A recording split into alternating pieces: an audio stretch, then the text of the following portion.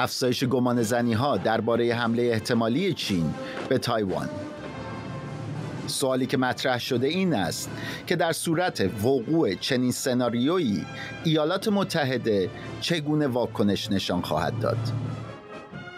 به خصوص با توجه به حمایت خاموش چین از روسیه در جنگ اوکراین و عدم دخالت نظامی مستقیم آمریکا در این قائله.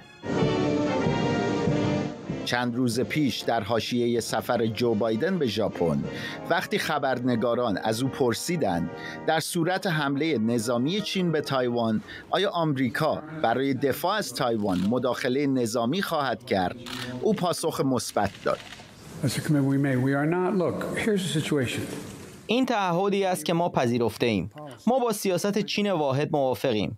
ما آن را امضا کردیم و همه توافقات مربوطه را انجام داده ایم اما این ایده که می‌توان تایوان را به زور گرفت درست نیست. این اقدام کل منطقه را از بین خواهد برد و اقدامی مشابه با آنچه در اوکراین رخ داد خواهد بود.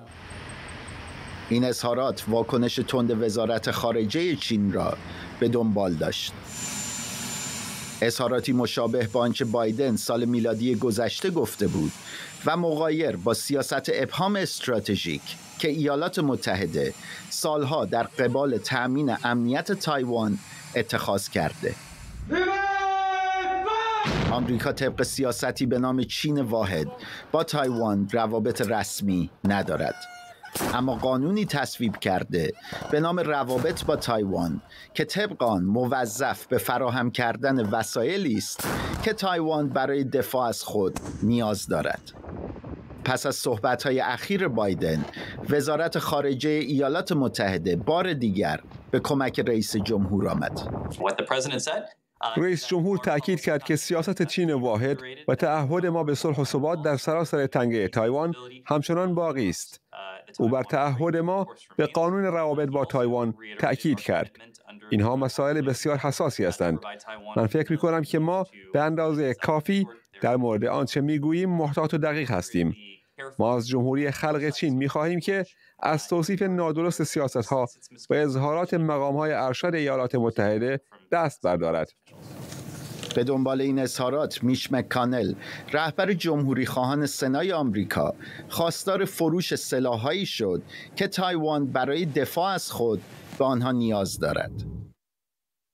با این اوصاف شرکت تصویربرداری پلنت لبز و هفتهنامه نیوزویک به تازگی چند تصویر ماهواره‌ای از شمال غرب چین منتشر کردند. تصاویری از ماکت یک هواپیمای ایواکس مشابه با هواپیمای نیروی هوایی ژاپن که در صورت حمله چین می تواند برای شناسایی موشک ها و هواپیماهای نظامی چینی به کمک تایوان بیاید. ماکتی که متخصصان مؤسسه تحقیقات دفاعی امنیتی تایوان می‌گویند با هدف تمرین نظامی و افزایش دقت موشک های بالستیک چین در این مکان قرار داده شده پس از آغاز جنگ اوکراین حالا به نظر می رسد آزمون جدید نظامی ایالات متحده حفظ امنیت تایوان است.